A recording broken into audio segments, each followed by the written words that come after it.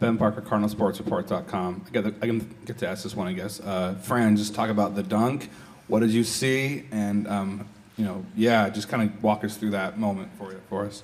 Yeah, um, I think our coaches did a great job of preparing us for this game. We knew that uh, their post players like to shoot, so I was just trying to recover back. I got the block, which was cool. Um, and then I was kind of dribbling down, and I kind of like looked over to see like who was there and where, where she was. Um, and then I got past the three point line, and I just kind of went for it, so worked out.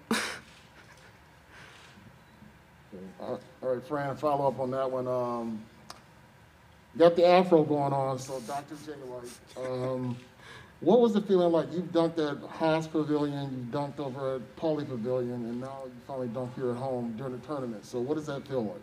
I mean, I, I think we were kind of talking. This one I think was the coolest one, just to be able to um, be here at Maples. I know I've dunked at Maples multiple times um, in warm up, as I'm sure you've seen.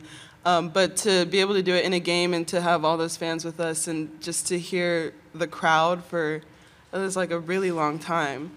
It was like 30 seconds. That's a long time to be cheering, um, and to just hear how loud it was in there. That was that was definitely a highlight.